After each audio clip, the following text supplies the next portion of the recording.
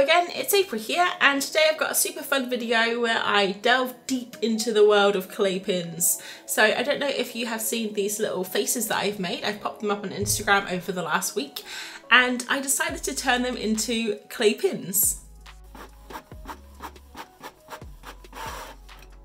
So the first thing I did is grab all of the designs off of Procreate and print them out.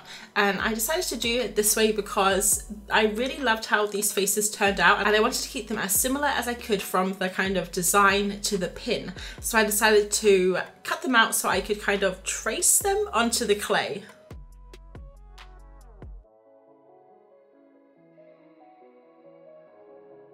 And these are all the little faces that I'm going to try to make into pins. Okay, I don't know if you guys can hear me, but I'm gonna try and do this on my camera microphone. So to make the pins, I have some baking paper for rolling out just so my desk doesn't get messy because it's so clean. Um, a scalpel for cutting. Uh, I've got a rolling pin. Got some of these uh, pretty cheap modeling tools from Hobbycraft, but I'm sure you can get them in any like art supply shop. that I've never even know if we use these. And then most importantly, we have the white clay. So this is air dry clay, it's from Hobbycraft. They did have a more expensive clay, but it was like half of this.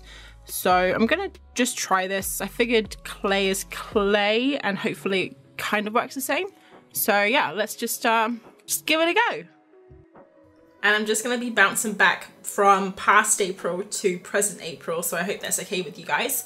Um, I actually really have started to love recording my voice as I'm doing stuff. It makes it so much easier to edit.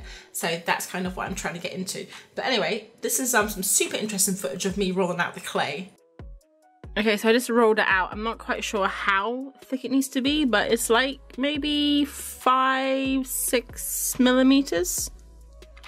So I'm just gonna try that. Did cut around these, so I'm hoping that I've left enough room because I think when I come to having to like smooth it out and stuff, I may be making it a little bit smaller.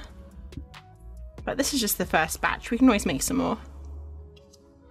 I don't think that we're going to fit on here, so we'll just do a few, maybe five.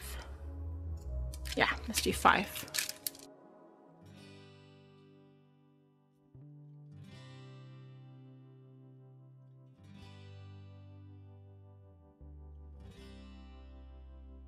Um, I'm, I'm, just worried I'm going to get these mi mixed up. Um, they're kind of all different shapes, I guess. Okay, so I was going to just show you the clay because, look, I've made, if this works out, I would have made eight. And I've still got a good more than four-fifths of the clay left. So if this works out, this clay, if you guys live in England, um, might be worth it. So we'll see how it turns out. I'm not going to do it now, but I'm going to wrap this up in some cellophane just to keep it from drying out. And yeah, hopefully keep it nice and moist. I know that's a gross word, I'm sorry. So all I'm going to do now is I've got a little bit of water here and I'm just going to try and smooth out the edges and then we'll leave it to dry. So yeah, just have a play with it and try and keep, get it nice and smooth, I guess. That's the goal. And I actually think I may have rushed this process a little bit because the final clay objects come out a little bit like rough. So if you're doing this, take your time to smooth it all out. Alright, so I think that's smooth enough for the first one. I'm just going to show you, forgot to mention it, but I have some pins that I got from Amazon.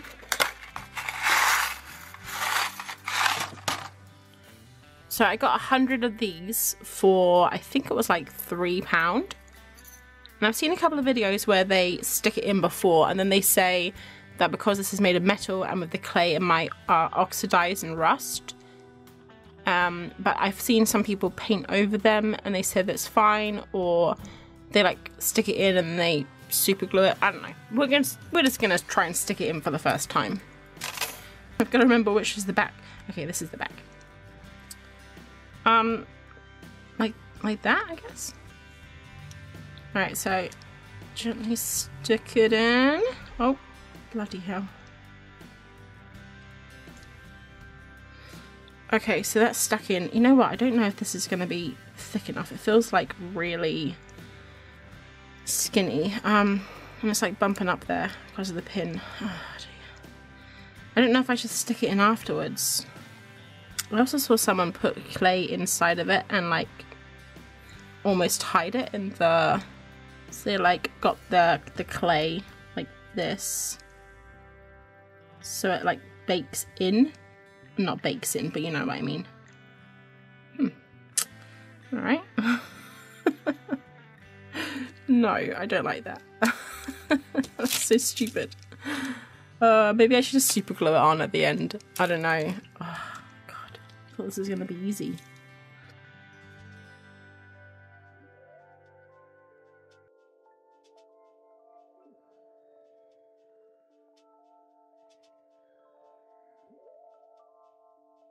I've got all of my pins done.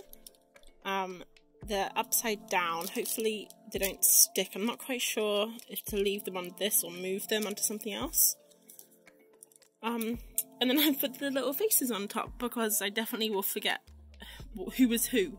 So yeah, um, I'm gonna leave these to dry for maybe a couple of days and then paint them during the week. I guess I've gotta wait now to see if they work.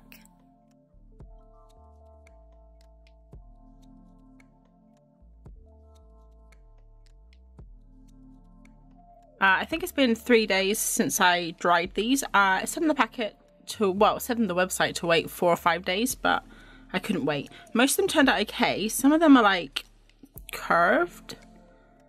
If you can see that, I think that's just from where it's uh, dried, like on bent like this. I don't know, a bit weird. The pins seem to be in there okay, so that's pretty cool. So I got most of them the right way around. This one here, I accidentally put the pin on the wrong side. So I'm not quite sure what to do with this one because it was meant to be like two little kissing faces. So now it, it's looking the wrong way. And then this one here, I put the pin on uh, like sideways. So not perfect, but these are just like a first kind of test to see how they go. So next up, they're quite smooth but I did see, I was watching another video and they sandpapered them. So I have some sandpaper here and I'm just going to give them just a little sandpaper. And then I'm going to use this gesso just to give them a coat. Maybe I'll do another coat tomorrow if they're, they're dry. Uh, just to kind of, I'm not sure if it'll work, but just maybe give them a coating so I don't even know why I'm doing this. You can't really see, it's just a white block. Um, just to give them a bit of a coating so the paint doesn't soak in as much.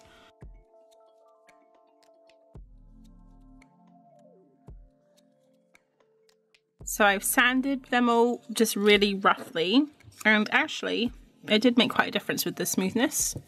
So I think if I was to try and make these in the future, maybe to sell my Etsy shop, um, I might might be a little bit more careful, and also I kind of want to see if I can get uh, them not to curve when they dry. So I'm gonna have to just play around with that and see if I can get that done in the future. But for now, um, what I'm gonna do is tidy up a little bit and uh, gesso them. And then for the rest of the process, I decided to watch Netflix. So I'm going to be taking over the voiceover. Um, I gessoed them all. I didn't really know if this is super necessary. Um, I did find the paint went on really nicely and it didn't soak into the clay at all. So it could have been the gesso. I don't know. If you have it, use it. If not, I don't really know if it matters or not. I decided to use the acrylic gouache, which I really love, Holbein acrylic gouache. And right now I'm just mixing up some skin tones. So I don't really have any dark colors in the acrylic gouache. I only have like super light colors. And I really wanted to have um, a different like mixture of different tones. So if I do this in the future, I'll probably grab a few browns and kind of like purples and make up my own darker skin tones. And I don't think I mentioned it, but I actually traced the images on, as you can see. So I kind of did that trick where you flip the page over, you draw on the back of it, you flip it back around again, and then you draw over the original lines. So it kind of, um, it's not really tracing, but it's transferring the lines. I think it worked well in this case, but if I'm gonna make clay pins in the future, I think it's probably best to kind of just go with the flow and paint them without all of this fuss because not only do you see the pencil lines at the end, it's just like a lot of work.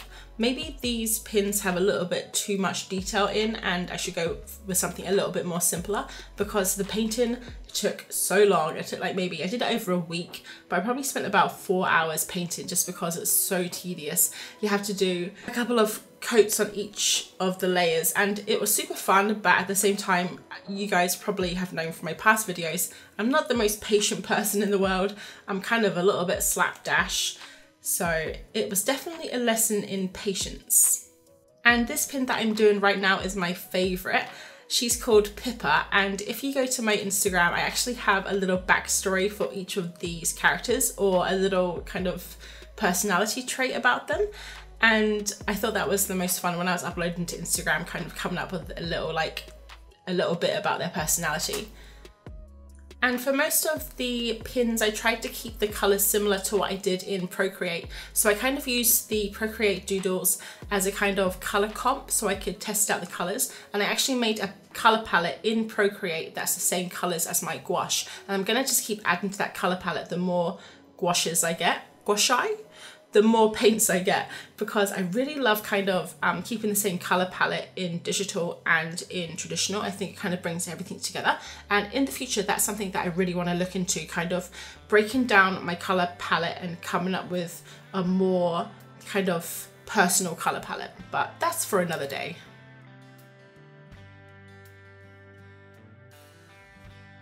These are the finished pins. I think they look pretty cute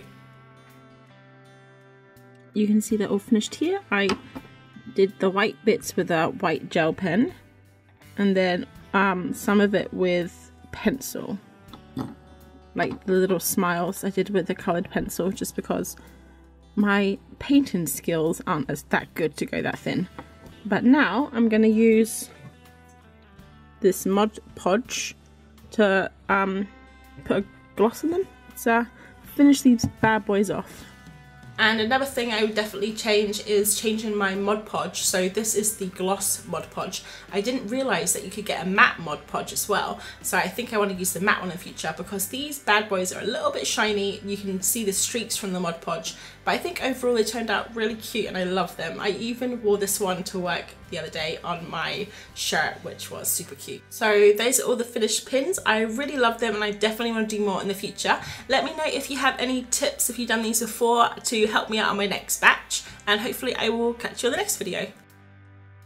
Thanks for watching. Bye.